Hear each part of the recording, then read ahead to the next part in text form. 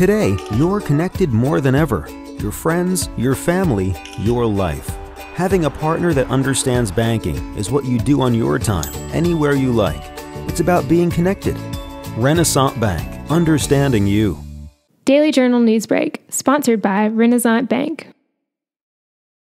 Good morning, Northeast Mississippi, and welcome into News Break for this Wednesday, August the 24th. I'm your host, Brad Locke, and thanks for tuning in to this uh, daily program. A News Break comes to you five days a week, Monday through Friday, 7 a.m. You can find it uh, at djournal.com or on our Facebook page or on our YouTube channel. So let's get going with the weather forecast brought to you by Weather Underground. Today's forecast going to see partly cloudy skies, a high of 95 degrees, low of 74, 20% chance of rain. Looking at the three-day outlook, partly cloudy on Thursday. Going to see a high of 93, a low of 74, and a 20% chance of rain. Friday, we do have a chance of thunderstorms, about 40%, a high of 93, and a low of 74. And getting uh, into the weekend on Saturday, partly cloudy skies, a high of 94, a low of 72, 20% chance of rain.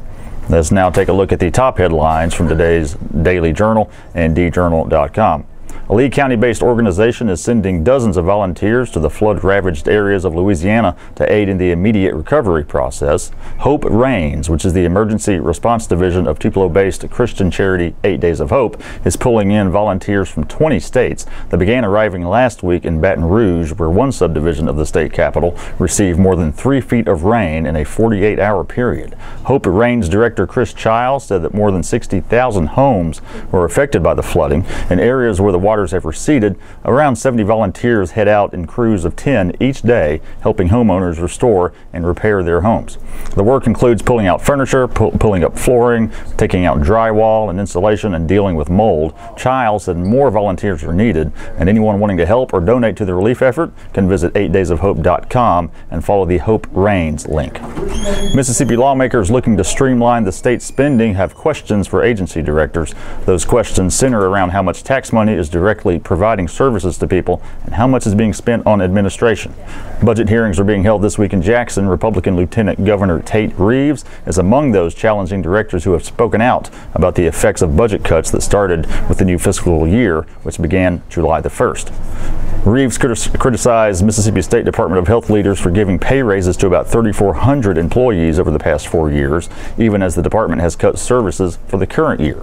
Department Director Diana McCullough said some of the raises went to direct care workers who moved into higher level jobs. Reeves said 35 employees have received raises of at least $20,000. Reeves said the Mississippi State Department of Health has received millions more dollars over the past five years, but Dr. Mary Currier, the state health officer, said the department has had to reduce some services, lay off employees, and increase fees due to the budget cuts. She said the department is also reducing travel expenses and is going to work within the budget that legislatures approve, remaining mindful of its main mission of protecting public health.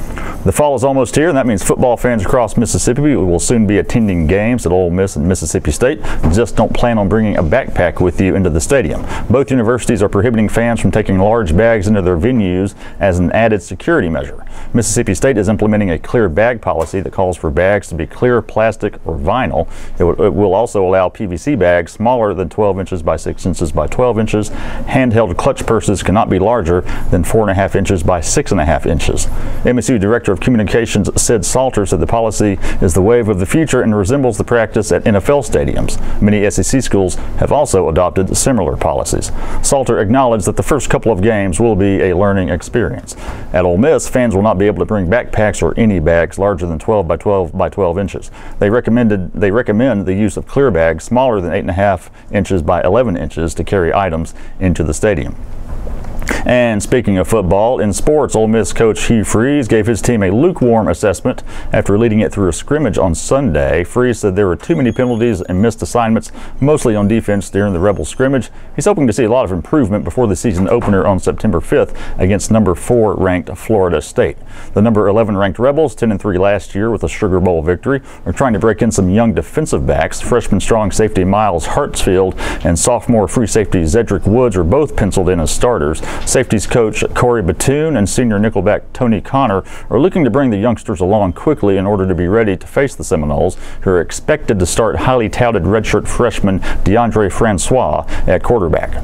That's it for today's news break. I want to remind you to check out the podcast that we have three days a week, The Memo, every Monday, Wednesday, and Thursday with myself and W. Derek Russell. Had a new have a new episode coming today. In fact, you can look for it this afternoon uh, in iTunes, uh, any of your podcast apps, or at memo.djournal.com. All the stories that I talked about today can be found in your daily journal or at djournal.com. Be sure to follow us on Twitter at djournalnow and give our Facebook page a like. And that's it for this Wednesday. We'll be back tomorrow. See you then.